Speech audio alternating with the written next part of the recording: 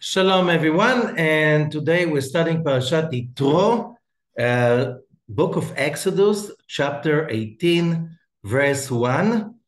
And Parashat Yitro is mainly around Mount Sinai revelation. It is a short parasha, uh, relatively to the others, but extremely important because this is the peak of human uh, history uh, a peak that we never achieved since anymore. Uh, only 72 verses.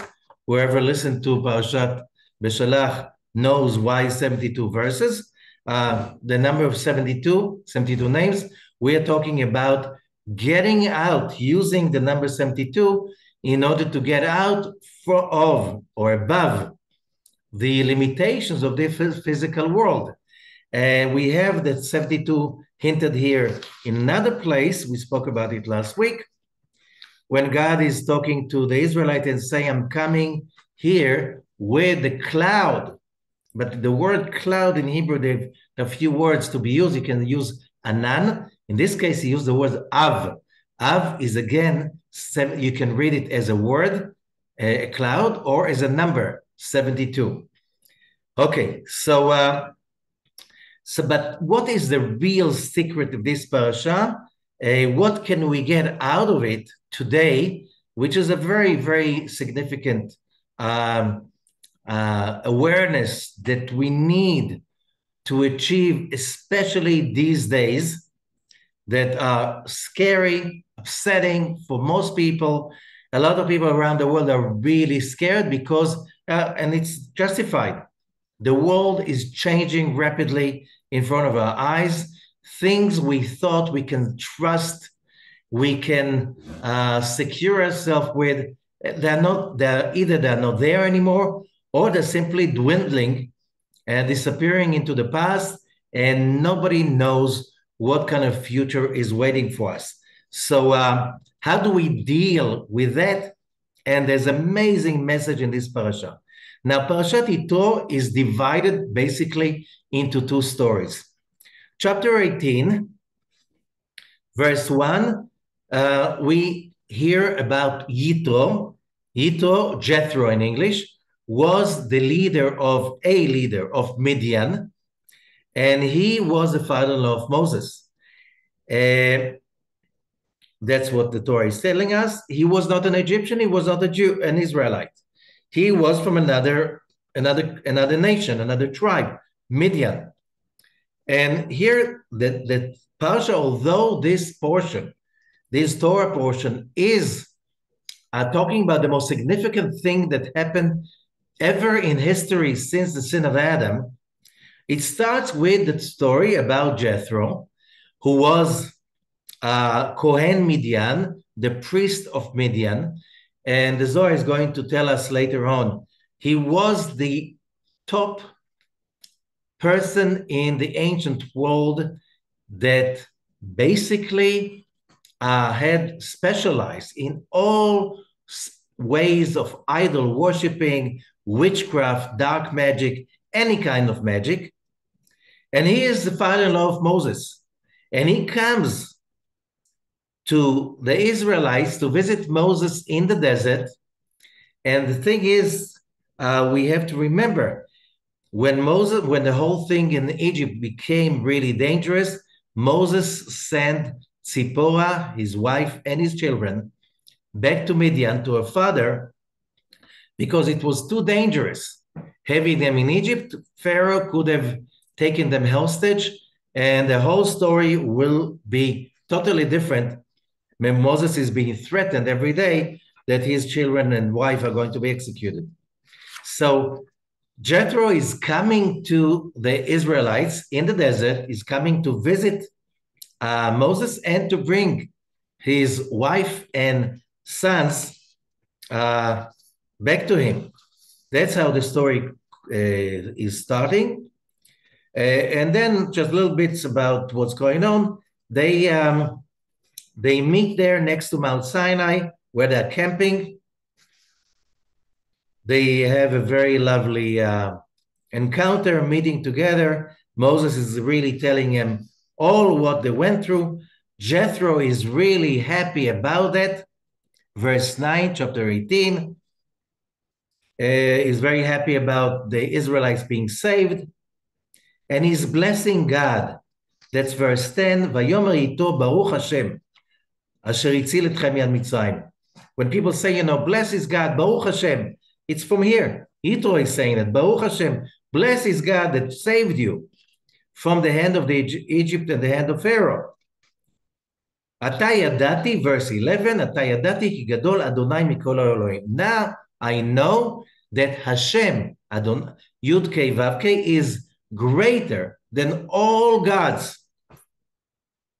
Okay, this is very significant. And then Yitro is, uh, the story goes on that Moses, the morning after, Vaim verse 13, the day after Moses, after welcoming uh, Jethro, Moses sits to judge the people. וישב Moshe לשפוט את העם. and the people is standing on top of Moses, that's how it's written in, in Hebrew, על משה, מן הבוקר עד הערב, from the morning till the evening.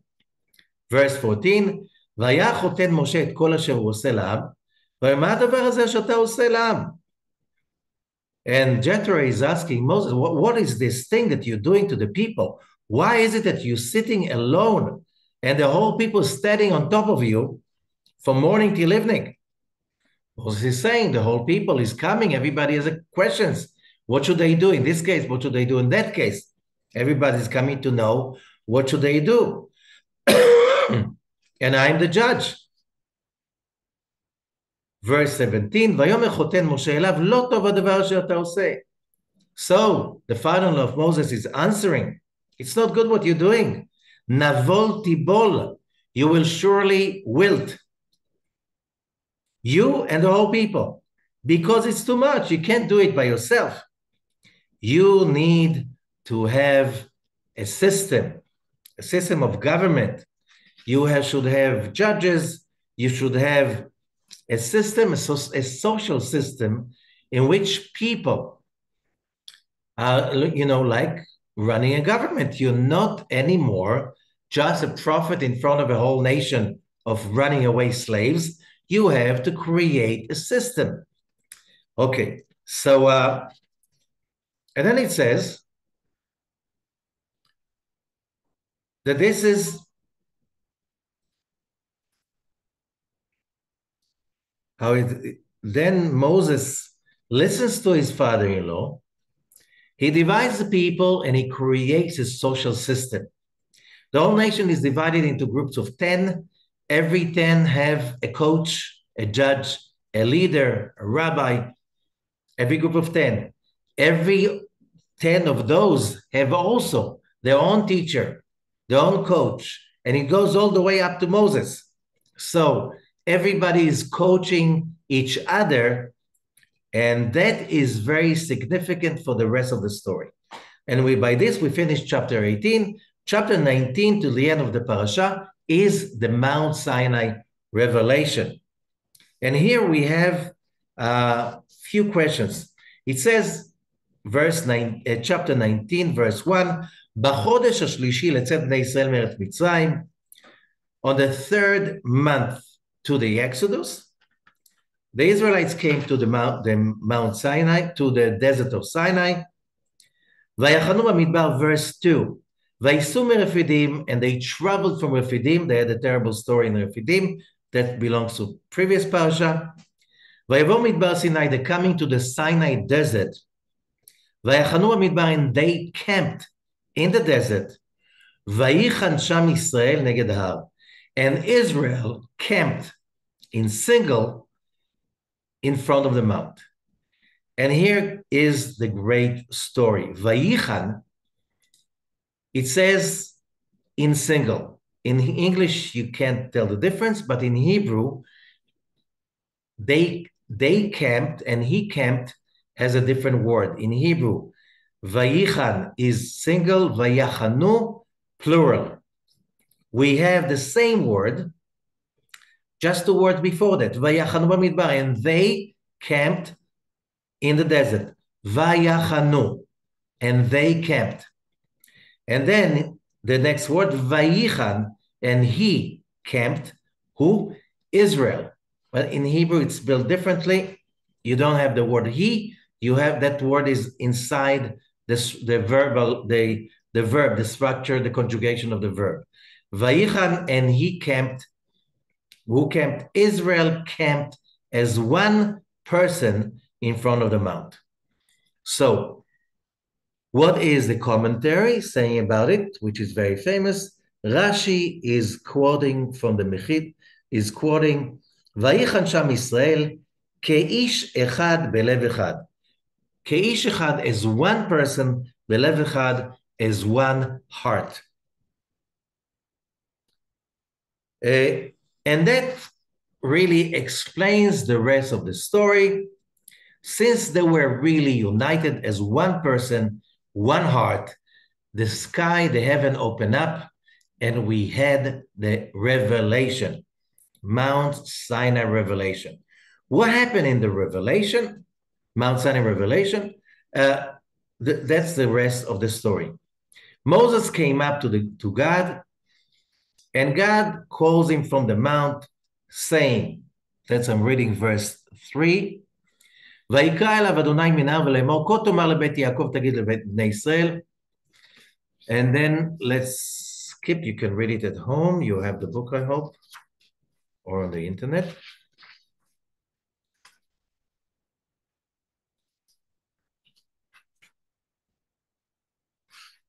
But this very important verse, verse 5.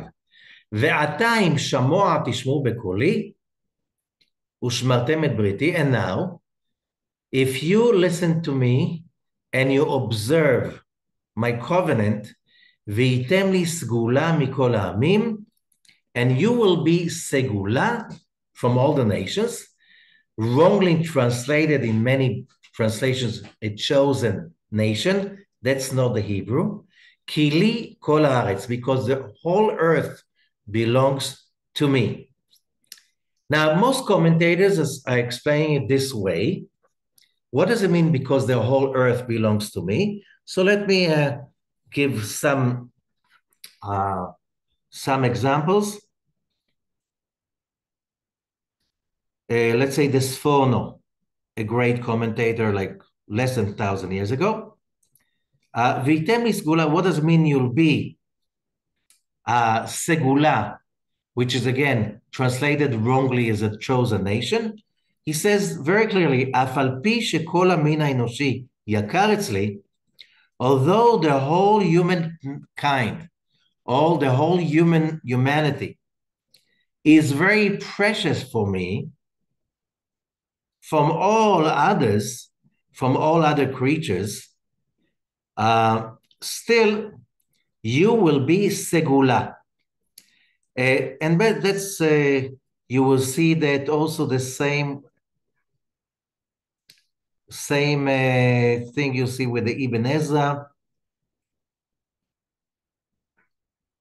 And Rabbi Ashlag explains that Rabbi Ashlag, the uh, founder of the Kabbalah movement in the 20th century, he says segula in Hebrew is still being used today when you want a special uh, method, device, whatever to create success, which means could be from baking a cake and make it rise or uh, anything else that you do and you want to guarantee a special uh, if you're a professional uh, so you can make it work. Make what work? So we know that the whole of humanity has a goal and the goal is to correct the sin of adam overcome all what is negative overcome darkness and turn it into light overcome bitterness and turning it into sweet. This is the goal of humanity. However, can we say that God gave the Torah only to the children of Israel because of discrimination?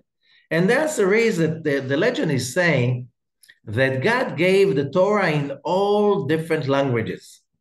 Why? There were Hebrew and Egyptian would be enough.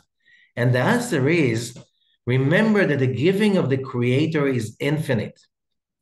The question is who is willing or ready, who has the vessel to receive what the Creator is giving? So that depends on the person's uh, course of development along his life, day after day, year after year, lifetime after lifetime. And every time we move forward, our interaction with God's giving is changing. God's giving never changes. Okay, as it says in the book of Malachi, that I, I am God, I never change, which means God's giving is unconditional, never changing. Who is changing? We, the receivers, and we receive no less and no more than what our awareness is enabling us to receive. Uh, could be physical bliss, spiritual bliss. It's all about our interaction with the giving of the Creator. So we must remember that. Now, so when he, so Rabbi Ashlag is saying the word segula basically means that the Israelite nation were the only ones ready at that moment to receive that connection like no one else. Why? Because they took, they were a, a, a fruit of a path that started centuries before when Abram started his journey and then Isaac connect, continued the journey and Jacob continued journey, and then the rest of the the 12 tribes. And the most important was the slavery in Egypt. All of that created a, a purification that enabled the Israelites, the bunch of slaves that ran away from Egypt, that they were somehow, as we explained before, they went through the iron furnace. Egypt was the iron furnace. Abraham, Isaac, and Jacob started the process, the process of purification. And then the iron furnace purified the dirt in the souls of those people that became, during our story, the nation of Israel. They went through a purification in which Rabbi Ashlag explains when you want to take the whole Torah, Mount Sinai revelation, what is the significant? What is the uh, one pillar we can say it's all around that? So we have the two versions of the story. What is the whole Torah about standing one foot? So we have that version from Hillel the Elder over 2,000 years ago, and we have another version by Rabbi Akiva 1800 years ago, and both are saying one thing love others as you love yourself. That's from a book of Ex, uh, of Leviticus and chapter 19. And it's love others, which means if you want to recognize God, if you want to have a relationship with God, you need to get out of your own self. Human beings, as it states in Parashat Bereshit, כי יצר לב האדם Rami Noav. A human heart is evil from childhood. What does it mean? Evil, selfish, which means psychology is explaining to us people cannot really feel others. We just feel others according to our reaction to them. Basically, what's in it for them? What's in it for me?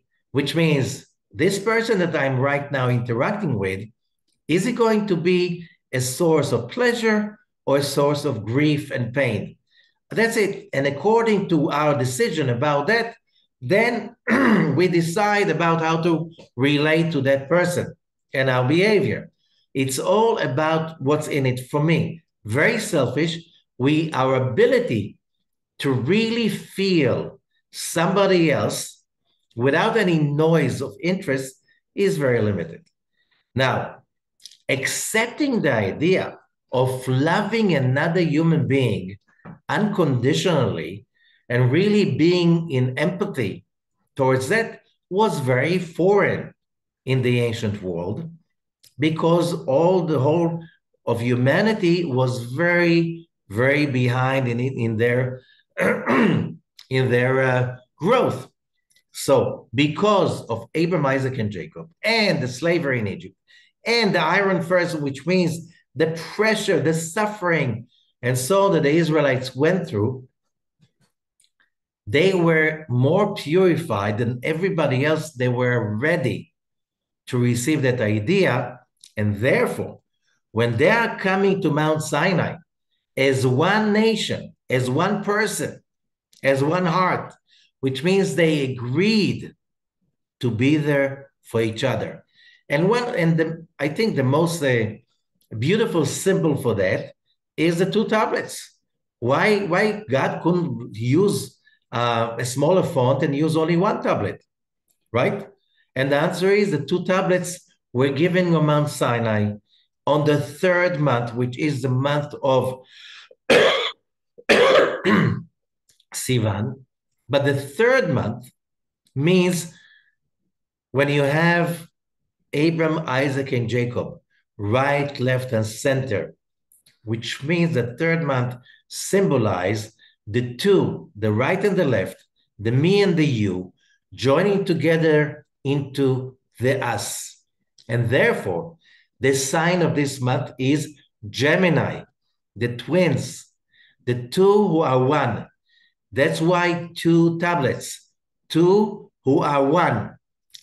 And the ability, the message of your salvation comes not through believing in a deity, because as Rabbi Ashlag is saying, how can you believe really in a deity that you have no idea what it is. Like, have you ever really seen God interact like, you know, face to face with God? No, impossible. You can have some messages, whatever people do have feelings and so on. How would you know that this is really what God is telling you? How many times in the history of humanity, people by the name of God, the Almighty, brought so much calamity, atrocities, evil, and cruelty to the world in the name of God. Everybody can realize that this is like, it's not in the name of God, it's what you think God is telling you. So, how do I know that God is really telling me that stuff, or I'm just uh, having a bad connection and I'm simply getting some uh, interference as an idea? And the answer is Hillel the Elder and Rabbi Akiva are reinforcing the idea from Leviticus that in order, as Rabbi Ashlag explains, in order to be able to communicate, to have a real, untainted, clear connection to God, you have first to learn how to get out of yourself. So when you care for others, when you empathize with others, when you try to understand other people's pain, sorrows, needs, desires in an unselfish manner, you're not doing anyone a favor but to yourself. Because when you get out of yourself and you, you learn to get out of your dungeon, you get out of what everything that basically uh, limits us selfishness, narrow mindedness. It's all there. So the only way we can save ourselves is to get of ourselves, to get out of the limited five senses state of mind, brain, whatever that is natural normal and so on, but it's our dungeon. We get buried in it. We experience death before we physically die. What is death? The Mishnah is telling us, Reshaim bechayehem nikraim metim. Selfish people, They're dead while they're still alive. How come? You want to connect to God? The real God is the source of life and his endless bliss and love, unconditional, that never changes, that's infinite. Okay, so how can you really connect to something like this when you are finite and limited? Because you're always busy with my needs, my desires, my sorrow, my pain, my traumas, my passions, and so on. it's all about me. So that's very finite, very limited. We know by the law of attraction that similarities attract. Can something finite and limited like me be connected to the endless giving of the Creator? No, impossible. It's even farther away than water and oil. They can't mix. So, how do you connect to that? So, our sages are teaching us when we simply learn to love others, to get out of ourselves, we're doing a favor only with ourselves because that's the only way we can finally meet God and really have a relationship with Him. And that changes everything. Everything we think about life, about ideology, about love and hate, and anything. It could be in business, health, everything. It's all about those relationships. So, can somebody really selfish be connected to God? No. As, as the sages are saying, כל המתגאה, אמר עליו הקדוש ברוך הוא, אין אני והוא יכולים לדור בכפיפה אחת. Whoever is proud and has ego, God says about him, I can't live with him in the same place by the law of attraction. So, how, how would that message be delivered to the world? Only when you give up selfishness. For the Israelites, after centuries of slavery in Egypt, uh, we can't speak about ego, you can't speak about proud because you've been stepped on, you've been uh, tortured, you had no rights whatsoever for so many centuries. They just came out of Egypt. They were ready to get the mission, to get the message of loving others. They were the only ones at that time who really could get the idea. And therefore, they are the only ones you can say about them that they could reach that place being as one person, one heart. That awakened the revelation. What do you think? God was waiting on Mount Sinai for thousands of years till the Israelites arrive? Say, okay, they're late, they're late. Oh, now they're coming. Let's give them the show. We have to remember everything we go through was already created in the beginning. It's just we are the ones that by making our own free will choice, evil or good, light or darkness, when we make the choice, we just simply push the button of the next the next part of the movie that we call our life history. So God is not creating new adventures and new uh, uh, traje- trajectories of um, every human's life. No, everything was already created. Everything we can say, think, and do, except for one thing. We can choose to stop the reaction, to stop the negativity, to stop uh, the insensitivity and selfishness and so on, and rise above the occasion and connect to enlightenment.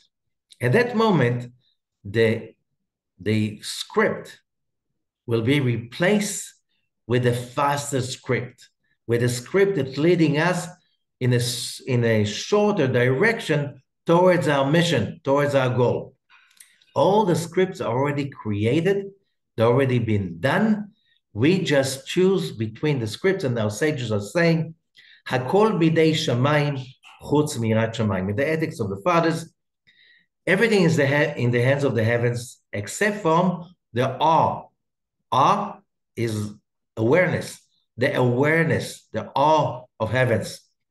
When we can achieve that, that appreciation, connection to the awe of heavens, then our selfishness is fading away and the anger fades away and the all the noise of fear lust whatever all our demons fade away because that's the connection and then we get to new a new movie a new script that leads us closer to our goal how is that connected with the mount sinai revelation when the israelites arrive as a nation one heart and one person and then God's appearing from the heavens. And uh, you can't go through Parashat Yitro. I'm doing it every year without reading the Zohar about it. verse eh, 296 in the Zohar Parashat Yitro. Amar Rabbi amroim, and it says, and the whole people, the whole nation, see the voices. See the voices? Hear the voices, it should be written. Elakach lamanu. However we learn, it's not a mistake. אלו הקולות היו נחקקים בחושך, ענן וערפל. The voices were engraved in the darkness and the uh, and the uh, uh, cloud around them. ונראים בהם and could be seen. כמו שנראה הגוף, they saw the voices like you see a physical entity. ורואים מה שרואים, they saw whatever they saw, ושומעים מה ששומעים, they heard what they heard, מתוך חושך וערפל וענן האל אלו. Out within that darkness and cloud. ומתוך מראה האיש היו רואים, היו מאירים בהרה עליונה. They saw a vision. they saw like prophets. And that was shining in a divine vision. It was not physical. ויודעים מה שלא ידעו דורות אחרים הבאים אחריהם, and they knew. They were connecting to knowledge in such extent that no other generations that followed ever experienced. verse 297, וכולם היו רואים פנים בפנים, and everybody saw face to face. As it says, פנים בפנים דיבר השם עמכם, as Moses said, God spoke to you face to face. ומי היו רואים? Who did they see? תני רבי יוסי, רבי יוסי is teaching us. מערת הקולות האלו, שלא היה מאיר בהערה לא היה קול שלא היה מאיר בהערה או שמסתגלים בכל הגנוזות. It's not just they saw the voices. They saw behind every voice hidden wisdom. Every hidden secrets of the universe that every generation could ever reveal till the coming of the Messiah, till the coming of Melech HaMashiach. Amar Elazar, verse 298 in the Sulam commentary to the Zohar, Rabbi Elazar said, V'chol roim, and the whole nation see. As we said, שראו מערת הקולות האלו מה שלא עוד דורות אחרונים. which means, let me just, because it expands, but we, I want to concentrate it.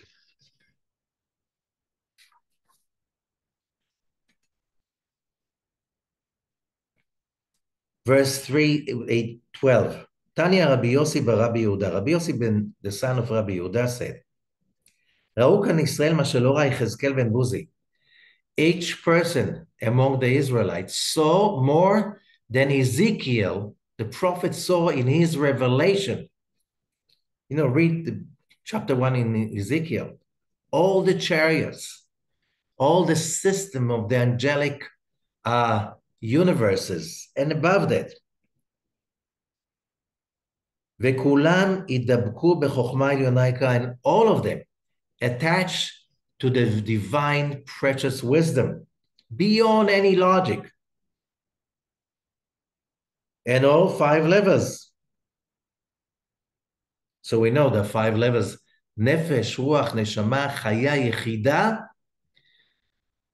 The fifth level means in total unity among them and the whole creation and the creator.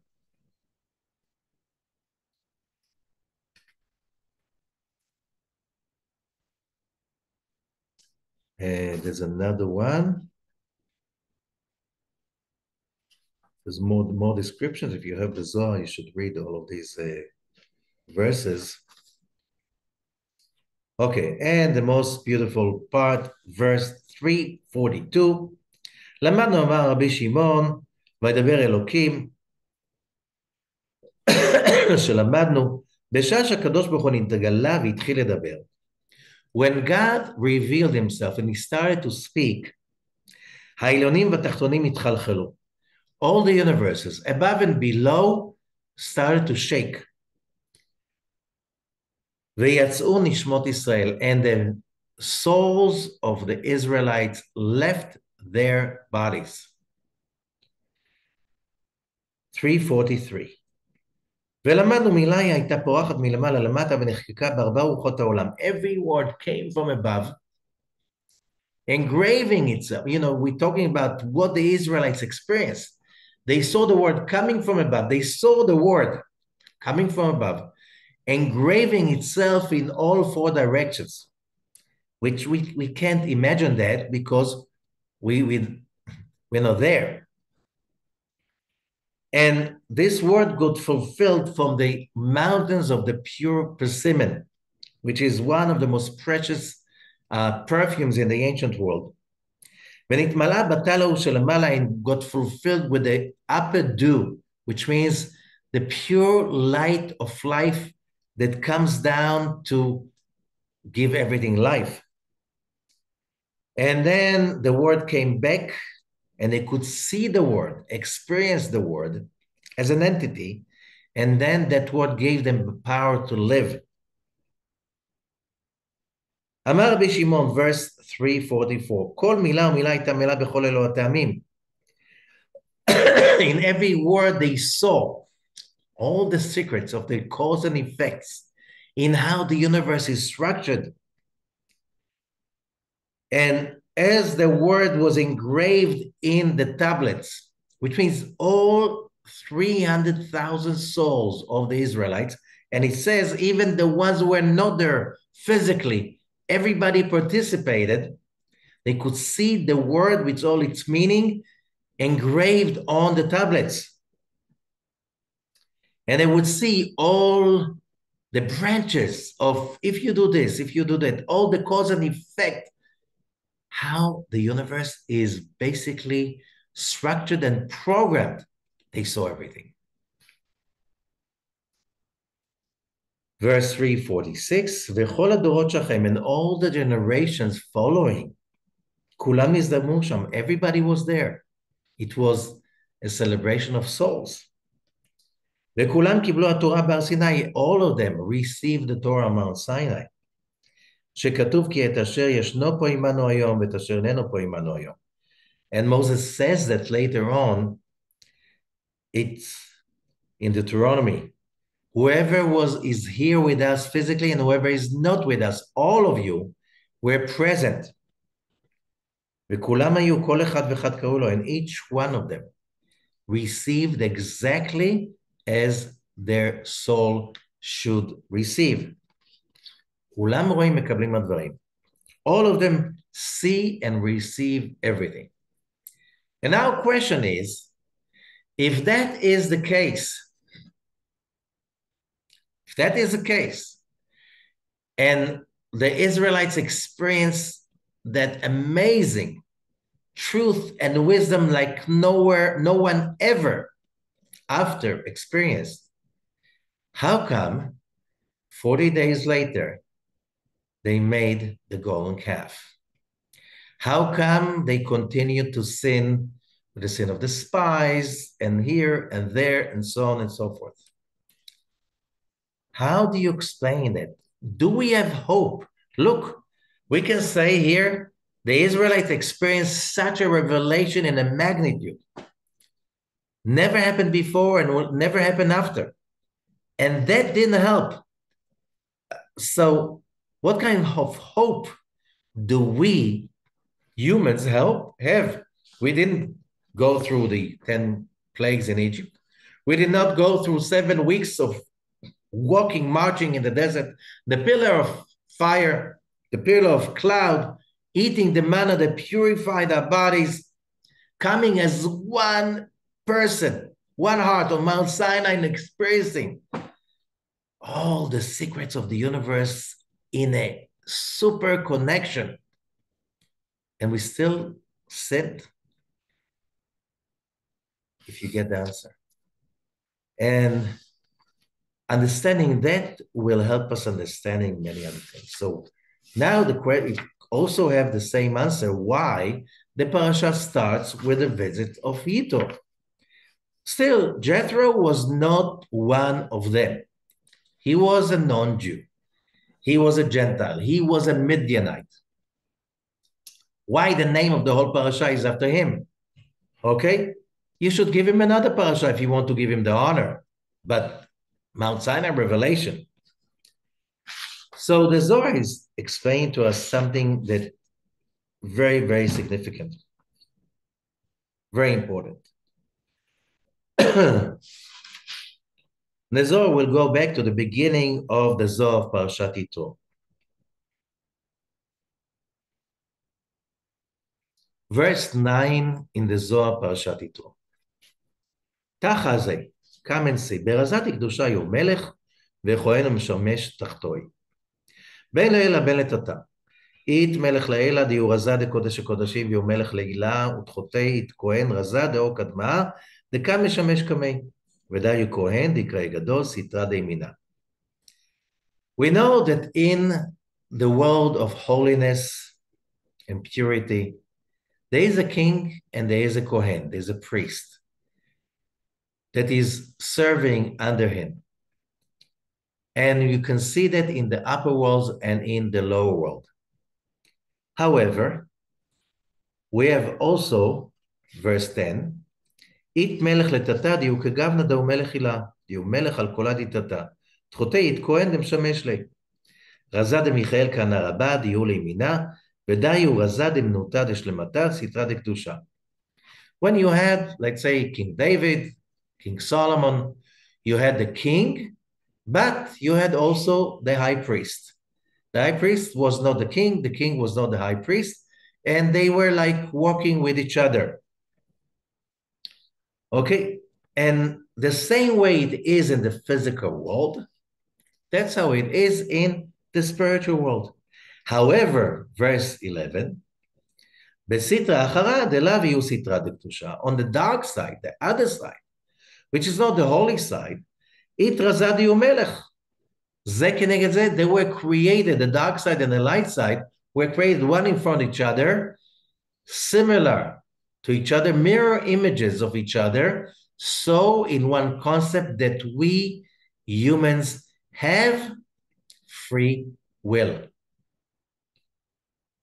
Which means if you see power, strength, a king, wisdom, holiness, power, spiritual power, mental power in the holy side, you will see also the same structure on the unholy side.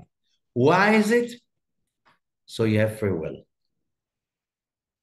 And that is important to understand. We did not come to this world to be perfect. We came to this world to perfect.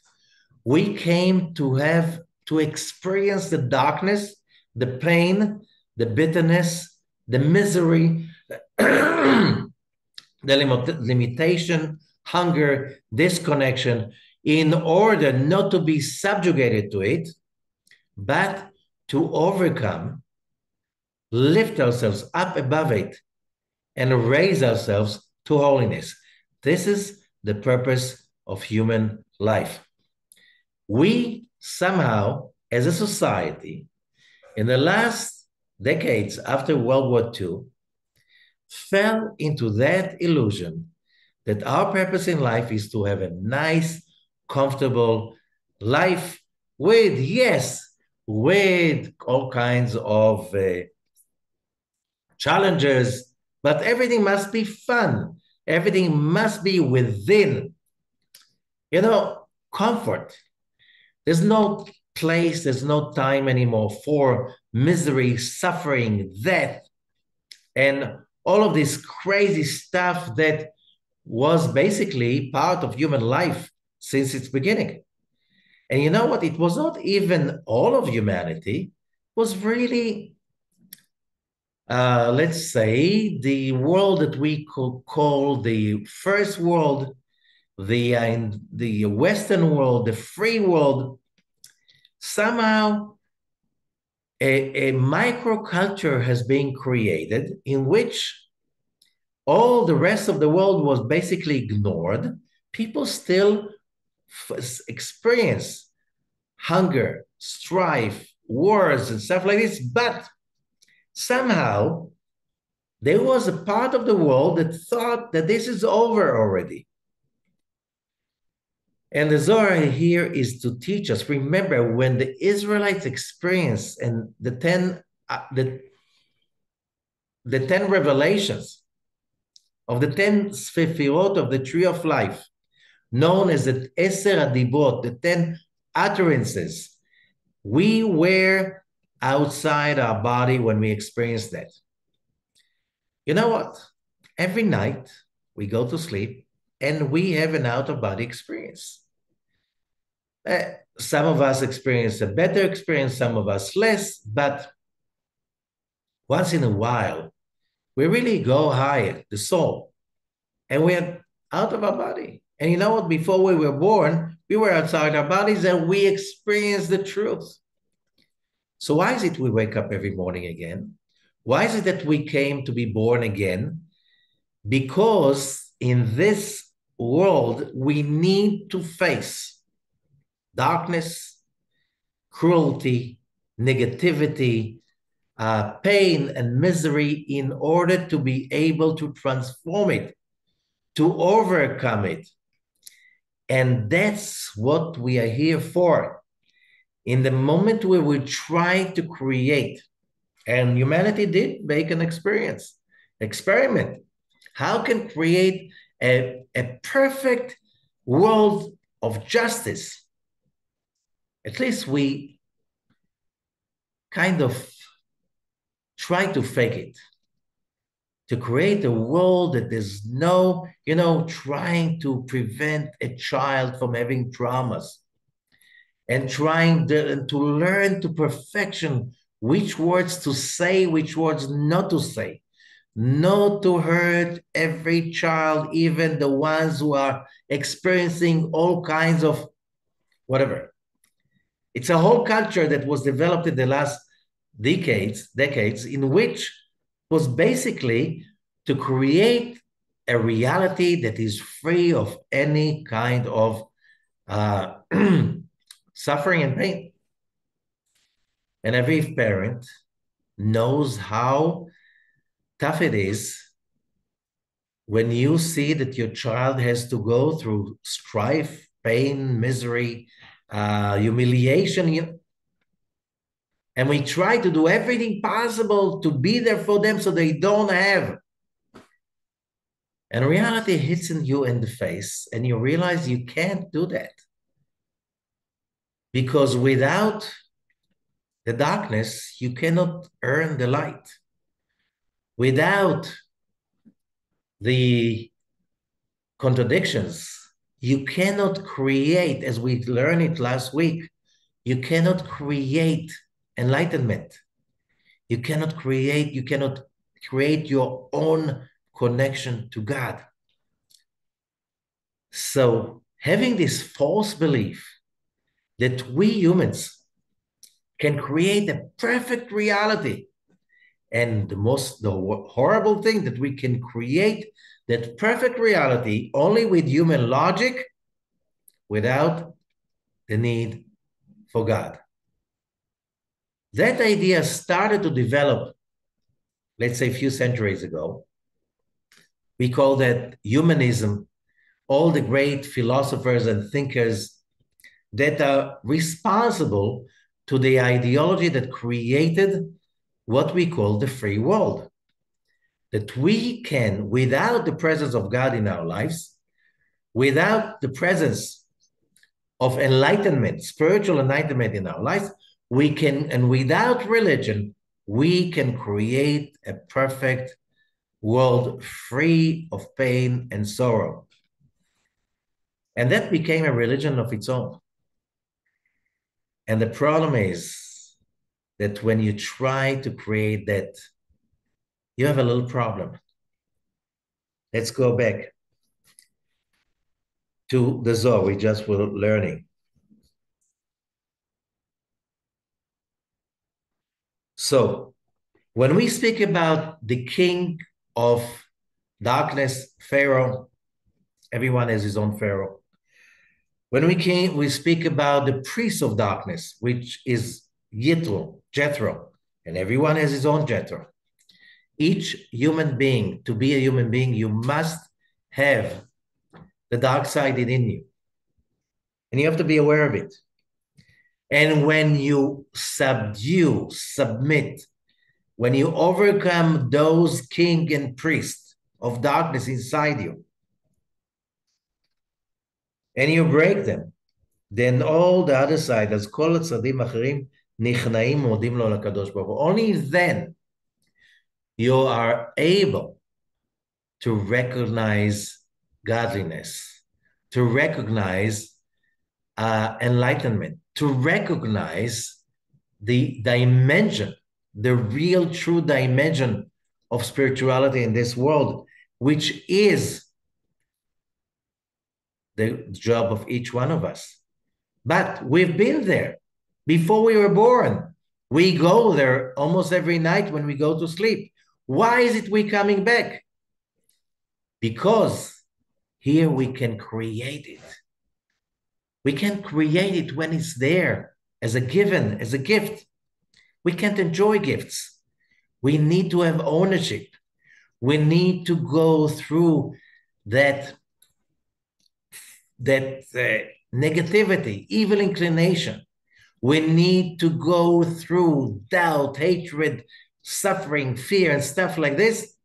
So we can use that in order to achieve our own enlightenment.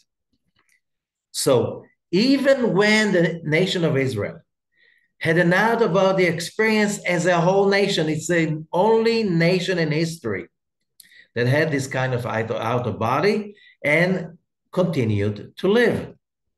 Okay, I think there's something in the uh, in the Hindu Vedas about a whole nation of three million that experienced that, but they died all of them, which means you can't just connect to such an enlightenment and come back to your body alive. We did. And what's the result? Did that take a free will away from us? No. Even if you have the greatest revelation, could that be more than being a soul before you were born? Tradition says that the child, before the birth of a child, he has an is experiencing all the secrets of the universe. And then the legend is saying, as the child is being born, an angel comes and does poof. That's why we have the overdent over here in the upper lip, in the middle of the upper lip, because that makes us forget all of these great divine secrets. Why? Why to make us forget? Because we're here not to experience them. We're here to overcome the darkness, to overcome Pharaoh, to overcome Yitro, Jethro inside each one of us. That cannot be taken away from us. So the moment we go back to a physical body, we're under the rulership of His Majesty, Pharaoh, and His Holiness, Jethro. Both of them are part of our body connection, are part of who we are, so we can really fight for what is right, for what is the light. Without it, there's no life. And how would you do that? So the Zohar is going on explaining to us.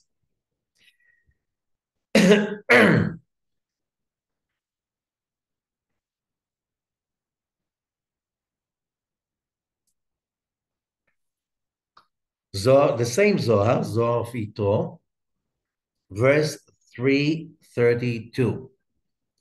Ditnan, Shit mea utlat asar zinei eita, Yahiv oraita levernash. למי בישלים במראי, בגין דמראי בעל או טבע לי בעלמא דין, ובעלמא דעתי. ויתיר בעלמא דעתי דעת ענינה כל מה דקודשה בריחו אשלים ליה לברנש, מעינון תבן דזכי בהו לעלמא דעתי ישתלם בהו. מהי טעמה משום דעלמא דעתי דקודשה בריחו הווה. Translation. We have learned 313 advices the Torah is giving to the person so he will become complete with his master. Shalem also means to be in peace with his master. Mishum because his master wanted to give him good in this world and in the upper world, in the next world, and especially more in the upper world, in the come in the in the world to come, because we learn whatever the holy blessed be, the Creator, is completing the human being. It is from that good that he gets to the upper world, to the world to come, and that makes the person complete. What's the reason? Because the world to come is only God's. What does that mean? Here we have another message the mission. The mission that we believe in only one God. Oh, a lot of people say they believe in one God. The question is like this Do you really have faith in a God that is only good and He created you for one purpose to share His good with you? That's it. There's only purpose. One little problem because we have His image imprinted in us, we can't take free gifts. We get ashamed when we receive for nothing. Could be nice little gifts, a token of uh, love, but you cannot give somebody success. You cannot give somebody peace of mind. You cannot give somebody uh, a spiritual victory, a real true victory. People need to own those realities, those victories, by achieving them on their own. Therefore, our biggest gift is this physical reality with the darkness of the Pharaoh and the priest of On inside each one of us. That part that is the ego, the pride, the the uh, mix up, the cruelty, the misunderstanding, the fears, all of those hosts of emotions and thinking and perceptions that are basically the darkness within each one of us. We get them as a gift from the Creator so we can overcome them. And then the feeling of victory and achievement and reaching fulfillment and total completion will be ours and ours alone. So we can create the godliness inside ourselves. And how would you do that? So there are 613 advices. Can you command somebody who is created in the image of God? No, the Zohar, the Talmud say commandment is idol worshiping. Because the moment it's a commandment, there's no dimension of free will over here. So again, when it says 10 commandments on Mount Sinai, it's a corruption. There's not one Hebrew text, text that says 10 commandments, advices, offers. utterances, sayings, it's advices. God can only advise us. He can lift us up and experience the heavens and all its secrets. But then we need, we need that to go back to a physical body that is hosting a whole army of negativities and traumas, whatever you call it. And then we have to fight them on our own. The mitzvot, the Torah's mitzvot, like loving others as you love yourself, like all the other 612, all of them are about one thing how do we get the power, the energy, the might, the exercise, so we can connect to the light of the Creator, so we can defeat those forces and reach completion. That completion is fulfilling God's will. Only one will from God's place to make us happy, to make us complete, to have complete sense of peace of mind and fulfillment. This is God's main power in this universe. In order for that to happen, we need to experience all of those uh, obstacles, traumas, pain, and so on, so we can overcome them and choose the good. That's a victory. That's the only thing we can take with us from one place to another, from one lifetime to another. It's the only thing that gives us a real sense of richness, of uh, happiness, of real true love. That's the whole purpose of humanity. And again, the message was for everyone. All nations of the world, they're all precious to God. Kilikola, the whole earth belongs to me you guys will bring that message to the world. What is the problem? So you see everywhere around the world this horrible phenomena called anti-Semitism, and you always see that the people carry the flag of Jew hating.